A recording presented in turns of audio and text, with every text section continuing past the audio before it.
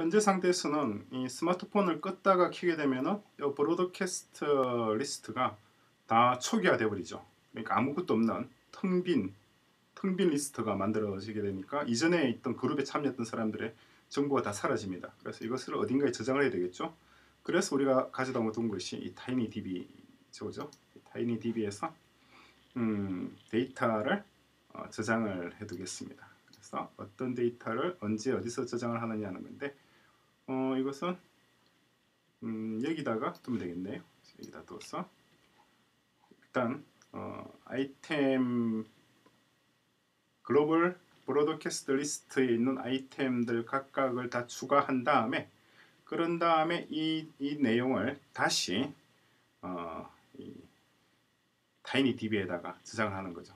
저장하기 위해서 일단 어, 기본적으로 어떤 텍스트 그러니까 태그를 하나 달아 놓겠습니다. 태그는 어, broadcast list broadcast list라고 하는 태그로 해서 저장하는 정보는 이거죠. 그냥 이걸 가져와서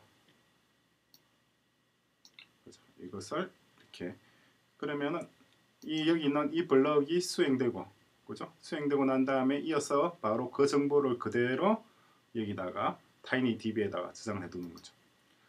어, 그런 다음에 이걸 이제 껐다가 켤 때, 그러니까 스마트폰을 다시 켤 때, 스크린 1에다가 initialize 할 때, 때 변수 불러오면 되겠죠, 그죠? 불러오는데 어, 어떻게 해야 될까요?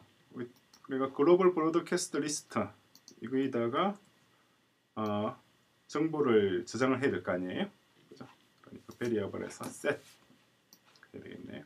set 얘가 아니라 global broadcast list를 저장하는데 뭘로 저장을 하느냐 하니까 TinyDB에서 가져오는 거죠.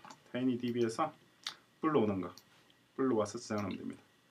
태그가 우리가 위에 만들어 놨던 태그를 그대로 쓰면 되겠죠. 이 태그. 자.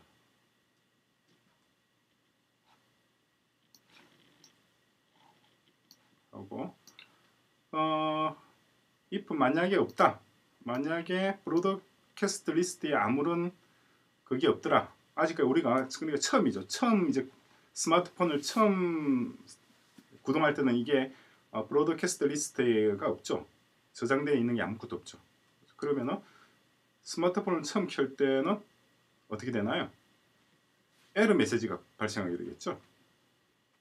그렇죠. 지금 이 상태, 이 상태에서 여러분들이 만약에 빌드에서 이 상태에서 필드에서 돌리게 되면은 그때 발생할 수 있는 상황 어떤 상황이 발생할까요?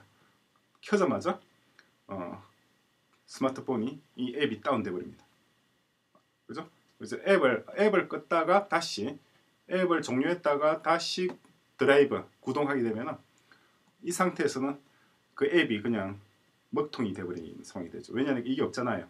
이게 만들어지는 것은 어, 처음에 일단 뭐가 구동될 때 그죠? 켜고 난 뒤에 이게 만들어지는데 처음에 initialize 상태에서는 아직까지 이게 만들어지지 않은 상태니까 그러니까 아주 곤란한 상황이 되죠.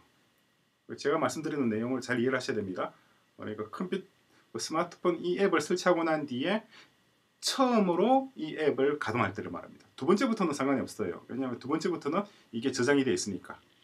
그죠? 음, 두 번째라고 하더라도 경우에 따라서는 다르긴 하겠네요. 그러니까 문자 메시지를 받았다 그러면은 문자 메시지를 한번 받아서 그 사람이 우리 그룹에 들어와 있다.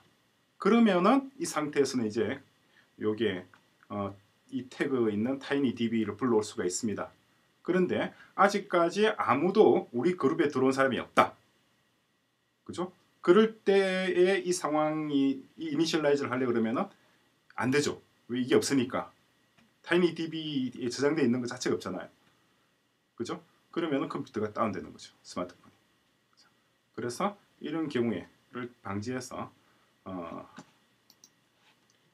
empty 리스트를 만들어서 만약에 없으면은 만약에 없으면은 empty 리스트를 하나 만들어서 그걸로 던져주는 거예요. 그게 여기 들어가게 되는 겁니다. 그죠? 그럼 initialize 상태 이게 어, 이걸 대신하게 되는 거죠, 그죠? 이렇게 됩니다. 그러면은 여러분들 또 문제를 낼게요. 그러면 이 여기 있는 이 블랑은 없어도 될까요? 왜냐니까 여기다 empty를 만들어 줬으니까. 어, 없어도 될까요? 아니면 그래도 있어야 될까요? 한번 곰곰이 생각해서 말씀을 해주시기 바랍니다.